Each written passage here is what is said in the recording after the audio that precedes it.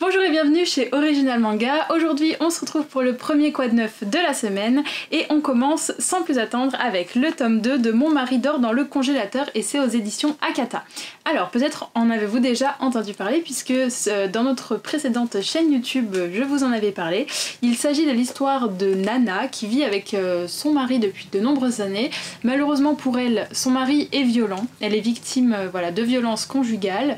Euh, il la frappe chaque jour, il la viole même, voilà, donc euh, c'est, elle vit une vie plutôt rude, et un jour, euh, ne sachant plus quoi faire, et eh ben elle décide de l'assassiner tout simplement, et de euh, le cacher, de cacher le corps dans le congélateur, dans une remise au fond du jardin. Et donc une fois qu'elle se sent libérée, sauf que retournement de situation puisque le soir même, son mari va revenir du travail et donc là, elle va complètement tomber des nues et se dire qu'est-ce qui se passe? Donc elle va aller dans le congélateur et il s'avérera que le corps y est Donc euh, est-ce que c'est elle qui devient complètement folle euh, ou alors est-ce qu'il y a deux maris? Enfin ça, ça paraît complètement, complètement fou. En tout cas euh, c'est un polar psychologique vraiment à découvrir que j'ai beaucoup aimé. et puis c'est en deux tomes donc pour ceux qui aiment les séries assez courtes c'est parfait. Et puis bah si on veut se faire un petit peu frissonner pour Halloween aussi. On continue avec euh, le tome 0 de Cher Journal et le, maudit. Euh, pardon, l'enfant et le maudit Cher Journal, voilà, c'est mieux dans cet ordre-là. Euh, c'est aux, éditions Komiku et donc bah, c'est le tome 0. En fait, il s'agit tout simplement d'un spin-off de la série bah, que vous connaissez sans doute, L'enfant et le maudit. Voilà, très grande série sur un enfant qui va cohabiter avec une bête, un monstre qui est très sombre, qui ressemble un petit peu à comme une ombre en fait, avec de la fumée, de la poussière voilà, qui s'échappe de son corps. Et voilà, donc euh, pour ceux qui ont aimé la série, en tout cas, n'hésitez pas à découvrir le spin-off.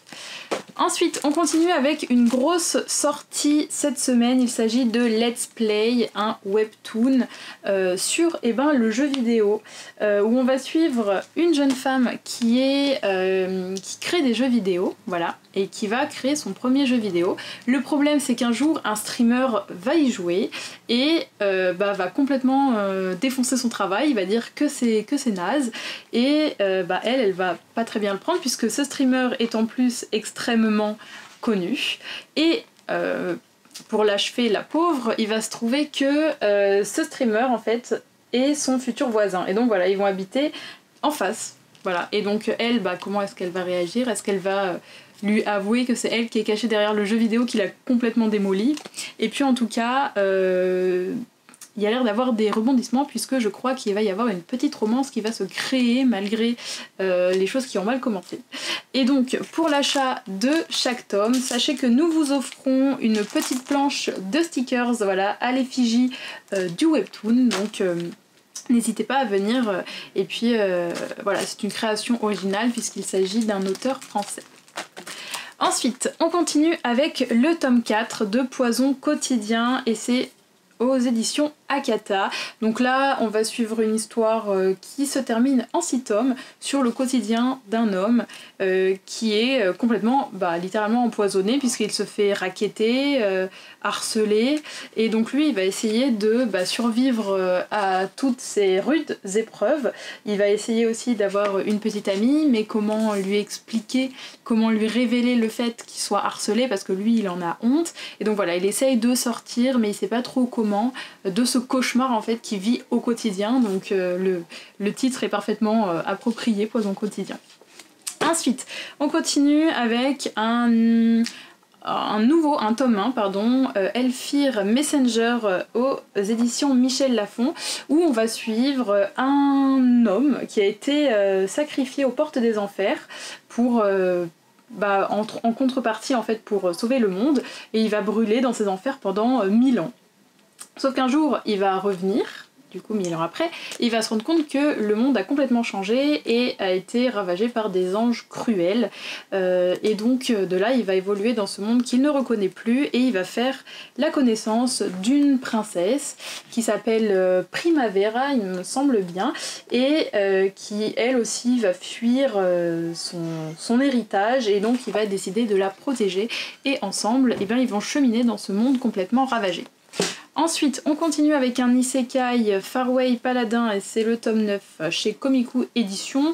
Euh, si vous avez pardon, suivi la série sur, bah, c'est un isekai, donc on suit un jeune homme qui, bah, là, il est mort en l'occurrence, et il se réincarne dans un autre monde. il va être suivi de trois acolytes un peu particuliers, et voilà, il va évoluer et puis devenir de plus en plus fort. Et puis on termine ce quad neuf avec un shoujo. Euh, il s'agit de Nina du Royaume aux étoiles et c'est le tome 4, c'est chez Michel Lafon. Et donc là, on va suivre l'histoire de cette jeune fille qui est réputée pour sa beauté et pour ses yeux d'un bleu profond et qui va être amenée à remplacer en fait la princesse destinée euh, au trône. Euh, et euh, voilà, et euh, elle va devoir apprendre tous les rudiments de la royauté. Et puis dans ce tome-là, il va y avoir une sorte de rebondissement de situation, puisque j'ai l'impression qu'il va y avoir une sorte de triangle amoureux, voire même peut-être plus, puisque bah, en fait le roi va va lancer une sorte de challenge à ses fils pour qu'ils puissent euh, essayer chacun de conquérir le cœur de cette demoiselle et par là obtenir aussi et eh ben, tout simplement les reines du pouvoir. Voilà. Donc euh, n'hésitez pas à nous dire en commentaire quel tome vous intéresse ou si vous avez déjà lu euh, des tomes parmi ces nouveautés. Et puis N'oubliez pas bien sûr d'activer la cloche, de vous abonner si vous souhaitez suivre nos prochaines vidéos. Et puis on se retrouve également en boutique au 49 rue La Cépède. A bientôt